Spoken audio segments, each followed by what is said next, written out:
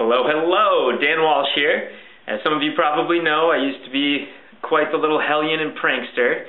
Uh, I've since calmed down a little bit for the sake of my roommate, but that doesn't mean that you can't benefit from everything I've learned along the way. So, without further ado, I would love to show you one of my all-time favorite pranks, and it takes place in the kitchen. So let's go. Alright, here we are in the kitchen. Now, this prank is really easy and can be done with household items, and which is awesome. And it doesn't hurt anybody, which to me is a very important part of a good prank. Anyway, there are only three things you need in order to pull this off. The first is a sink with a spray washer. You cannot do this prank without the spray washer.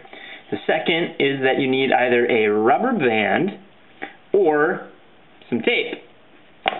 And the third, obviously, is you need your willing or not so willing victim. Uh, for this prank, it's usually my mother every time I come home for Christmas.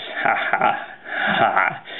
Anyway, all you have to do to pull this off is depress the lever on the sprayer and then use a rubber band, wrap it around to keep it down. Uh, this sprayer is chrome, so I would probably be better off with clear packaging tape, but I'm going to use a rubber band in this instance.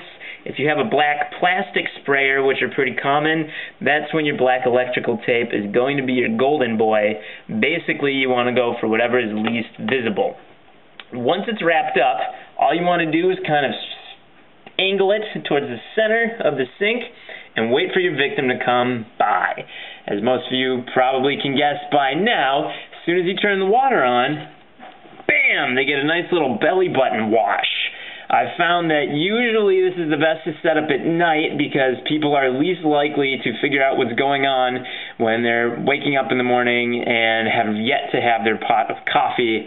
Uh, first time I pulled this on my mom, she actually did it three times before she realized what was going on. Anyway, I hope you've enjoyed this prank, and I hope you use it to the best of your ability. It's a lot of fun, and take care. Dan Walsh, signing off.